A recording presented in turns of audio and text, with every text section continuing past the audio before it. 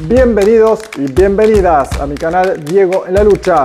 La inteligencia es la facultad de la mente que permite aprender e interpretar la realidad y tomar decisiones a partir de esto pero la sabiduría es la capacidad del ser humano sobre cómo aplicar el conocimiento adquirido y gracias a la experiencia hacerlo de la forma más adecuada. Si bien en nuestros días el mundo vive una guerra que está presente diariamente en la agenda mediática de los medios de comunicación más poderosos y cuya visión es totalmente parcializada, la realidad es que las guerras no necesariamente son aquellas en las que hay tanques y misiles. El mundo ha estado en guerra encubierta desde hace décadas, pero ahora ahora es mucho más evidente, ya que los bloques contrarios están mucho más parejos y el poder de los enemigos de Occidente crece día a día y no son enemigos que toman decisiones al calor de las emociones, sino enemigos que están fracturando lentamente al bloque más poderoso del mundo. Presten mucha atención al análisis de hoy. Mientras los egos occidentales empujan a algunos líderes a hacer afirmaciones desafortunadas y fuera de lugar, como el presidente Joe Biden, quien manifestó recientemente que no hay otro presidente en la historia de Estados Unidos que haya hecho tanto como él, aunque la inflación en Estados Unidos esté haciendo estragos, según el Departamento de Trabajo norteamericano, siendo la tasa más alta desde 1982. La inteligencia del líder norteamericano lo dirige a invertir millones de dólares en envío de armas a Ucrania para tratar de hundir a Rusia e indirectamente a China, aunque esto haga que la deuda estadounidense supere los 31 billones de dólares. Sí, billones de dólares. Todos los esfuerzos de Occidente se direccionan a aumentar la tensión entre Rusia y Ucrania, aunque esto signifique su propia destrucción y el fortalecimiento inminente de Rusia. La prestigiosa revista inglesa The Economist aseguró que Rusia se fortalece económicamente mientras Europa entrará en recesión. Pero esto no importa porque recientemente la OTAN anunció que enviará a Ucrania sistemas de defensa antiaérea, así como inhibidores de drones. Y aunque el presidente de Rusia, Vladimir Putin, ha negado reiteradamente que desee un conflicto nuclear y además el Pentágono estadounidense haya desmentido a Biden asegurando que no hay evidencia de que Rusia vaya a iniciar una escalada nuclear, los líderes europeos y norteamericanos continúan diciendo diciendo lo contrario. No nos dejaremos intimidar. Cualquier uso de armas nucleares cambiará fundamentalmente la naturaleza del conflicto y tendrá graves consecuencias. Rusia sabe que no se puede ganar con lo nuclear y que nunca se debe luchar. El secretario de Defensa de Estados Unidos, Lloyd Austin, dijo que los aliados se han comprometido a enviar armas tan rápido como puedan llevarlas físicamente. La retórica irresponsable y temeraria es peligrosa y por eso cuando presenciamos el ruido de sables nucleares no creemos que sea muy útil y es peligroso. La OTAN una vez más no supone ninguna amenaza para Rusia. Esta es la guerra que elige Rusia. Como hemos dicho en trabajos anteriores, las guerras en sí mismas son un negocio que solo beneficia a pequeñas élites, pero de fondo, toda guerra se lleva a cabo por factores económicos, y en este caso es por la energía que Rusia sí posee y Occidente necesita. La inteligencia en sí misma no necesariamente es buena, si está acompañada de factores emocionales como la ira, porque la estrategia occidental encabezada por el tío Sam está basada en la industria armamentista y la guerra abierta, pero el bloque apuesta por la paciencia y las jugadas casi inesperadas. Un ejemplo de ello es que China está ganando cientos de millones de dólares revendiendo gas natural licuado a Europa como consecuencia de las actuales sanciones contra Rusia, según reseñó el diario estadounidense The Wall Street Journal. ¿Y cómo es que sucede esto? Pues resulta que China presenta una baja demanda de gas natural licuado, mientras que los europeos tiemblan ante la escasez y la cercanía del invierno. Pero lo preocupante es que el problema energético en Europa Europa no se reduce solo al gas. En Francia ya hay regiones con larguísimas filas de autos para abastecer gasolina e incluso han surgido riñas por litros de combustible para autos. En medio de este panorama ya hay líderes europeos que se están dando cuenta de que Estados Unidos los está usando y que son los únicos grandes perdedores de esta contienda. Il n'est pas question non plus que nous laissions le conflit en Ukraine se solder par une domination économique américaine et un affaiblissement européen. Nous ne pouvons pas accepter que notre partenaire américain vende son GNL quatre fois le prix auquel il le vend à ses propres industriels. Un affaiblissement économique de l'Europe n'est dans l'intérêt de personne. Un affaiblissement économique de l'Europe n'est pas dans l'intérêt de nos partenaires américains.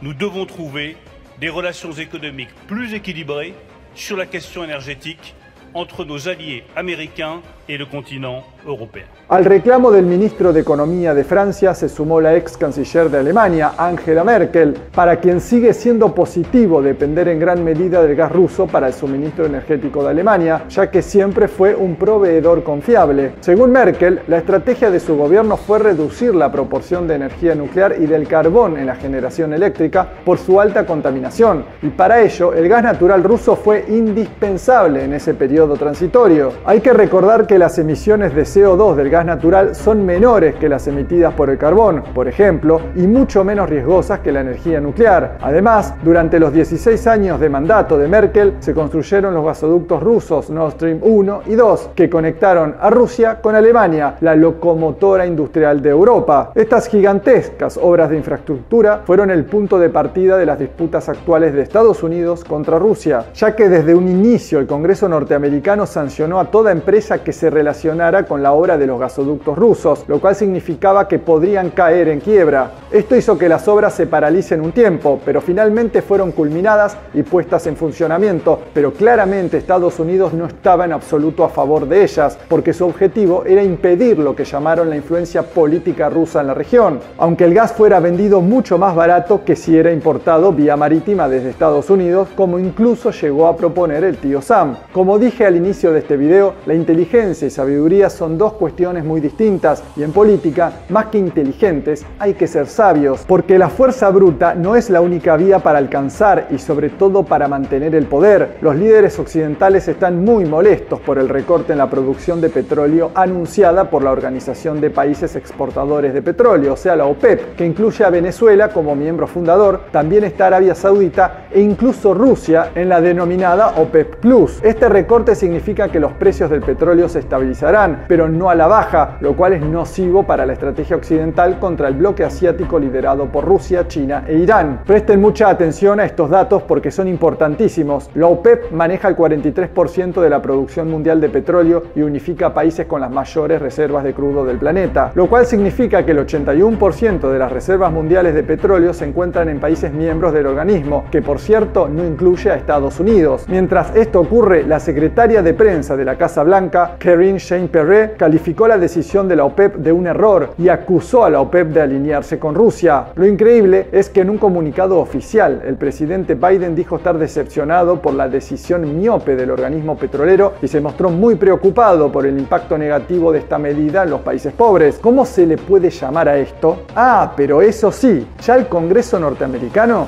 está buscando formas de atacar al organismo y varios expertos sostienen que este paso de la OPEP supondría un golpe para la administración de Biden, ya que provocaría un aumento significativo del precio de la gasolina en Estados Unidos, es decir, más inflación. Bueno, la realidad es que para el bloque occidental y sus representantes mediáticos, la decisión de la OPEP de recortar la producción petrolera es un asunto puramente político para afectar a millones de europeos, pero para Putin es responsabilidad de las políticas del bloque. Последствия частичного отказа от товаров из России уже негативно сказываются на экономике и жителях Европы. Однако вместо того, чтобы работать над возвращением конкурентных преимуществ, своих собственных конкурентных преимуществ в виде дешевых и надежных российских энергоносителей, страны еврозоны только усугубляют ситуацию. В том числе решили ограничить цену на нефть и нефтепродукты из нашей страны. Но это уже не только страны Европы, вместе с Северной Америкой это делают. И как планируется с декабря текущего года. В этой связи приведу цитату американского экономиста, лауреата Нобелевской премии Милтона Фридмана. Кавычки открываются. Если вы хотите создать дефицит, например, помидоров, то нужно просто принять закон, по которому розничные торговцы не могут продавать помидоры более чем за 2 цента за фунт. Вы тут же получите дефицит помидоров. То же самое с нефтью или газом. Кавычки закрываются, конец цитаты. Напомню, что Милтон Фридман ушел из жизни в 2006 году, он не имел никакого отношения к российскому правительству и уже точно не может быть записан в агенты влияния Para evitar lo que sucederá con el petróleo, según la ciencia económica estudiada incluso por economistas estadounidenses, Biden continuaría ordenando la liberación de millones de barriles de la Reserva Estratégica de Petróleo de Estados Unidos. Hay que recordar que las reservas estadounidenses de crudo se están agotando rápidamente y ahora están en su nivel más bajo desde julio de 1984 y no está claro cuándo planea el gobierno de Biden comprar una recarga. La estrategia de Biden podría catalogarse como una decisión inteligente en el corto plazo, aunque traerá consecuencias evidentes. Pero una estrategia sabia es la que lleva a cabo el bloque asiático, porque en medio del caos, Putin fortalece lazos con países estratégicos como Emiratos Árabes, ya que acordaron garantizar estabilidad en materia energética y consolidar relaciones binacionales. Paralelamente, Putin estrecha relaciones políticas con el presidente turco Recep Erdogan, ya que dialogaron sobre crear un centro gasístico regional en caso de concretarse la idea también podría evaluarse la venta de gas a otros países a través de nuevos gasoductos. Si esto se concreta, Turquía seguiría vetando estrategias de la OTAN, ya que es miembro del organismo y toda propuesta del organismo militar debe aprobarse de forma unánime. Sin enfrentamientos directos al estilo occidental, Putin está logrando que aliados históricos de Estados Unidos le den la espalda, ya que Arabia Saudí aseguró que no acepta dictados de Estados Unidos sobre petróleo, luego de que Biden amenazara a Riyadh con una respuesta ante la reducción de producción de petróleo. Como dijo el legendario líder argentino Juan Domingo Perón, la política no se aprende, se comprende. Un verdadero estratega político, un sabio estratega político, analiza la realidad, se despoja de emociones como la ira, es paciente, se hace consciente de sus habilidades, herramientas y aliados y luego responde con la mejor jugada. Solo así se garantiza la victoria y sin duda vivimos tiempos donde la política occidental ya no da los mismos resultados. Los países occidentales llevan siglos diciendo que llevan la libertad y la democracia a otras naciones. Es exactamente lo contrario. En lugar de democracia hay supresión y explotación. En lugar de libertad, esclavitud y violencia.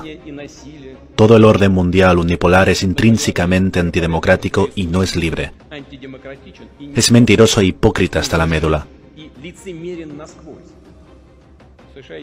Estados Unidos es el único país del mundo que utilizó armas nucleares y en dos ocasiones, destruyendo las ciudades japonesas de Hiroshima y Nagasaki. Por cierto, sentando así un precedente. Les recuerdo que Estados Unidos, junto con los británicos, convirtieron en ruinas sin ninguna necesidad militar Dresde, Hamburgo, Colonia y muchas otras ciudades alemanas durante la Segunda Guerra Mundial. Y esto se hizo de forma desafiante, sin ninguna, repito, necesidad militar. Solo había un propósito, como en el caso del bombardeo nuclear de Japón, intimidar a nuestro país y al mundo. Estados Unidos ha dejado una marca terrible en la memoria de los pueblos de Corea y Vietnam, con los bárbaros bombardeos en alfombra, el empleo del napalm y las armas químicas. Todavía siguen ocupando Alemania, Japón, la República de Corea y otros países y sin embargo cínicamente los llaman aliados iguales. ¿Qué clase de alianza es esa? Washington exige más y más sanciones contra Rusia y la mayoría de los políticos europeos están de acuerdo. Comprenden claramente que Estados Unidos está presionando para que la Unión Europea abandone por completo la energía y otros recursos rusos, desindustrializando prácticamente a Europa para hacerse con el mercado europeo por completo. Las élites europeas obviamente lo entienden, lo entienden todo, pero prefieren servir a los intereses de otras personas. No se trata de servilismo, sino de una traición directa a su pueblo. ¿Vos qué pensás? ¿Qué te parece la jugada del bloque asiático liderada por Vladimir Putin? Leo tus comentarios, te pido que te suscribas a mi canal, actives la campana de notificaciones en la opción todas, le des pulgar arriba y compartas. Muchas gracias.